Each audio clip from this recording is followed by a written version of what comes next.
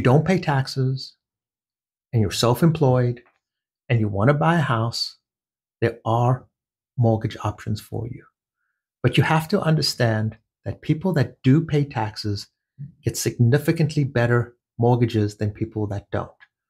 And what I mean by that is people that don't pay taxes have higher down payments, higher interest rates, higher mortgage payments, and the terms of the deal are significantly worse.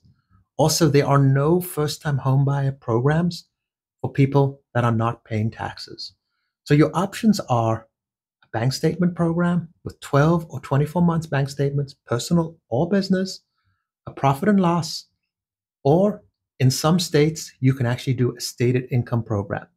But when you look at the terms of the deal and you go, wow, this is significantly worse than what other people are paying, that is correct because those other people are paying income taxes and therefore they get a better deal because they can go through traditional lending sources.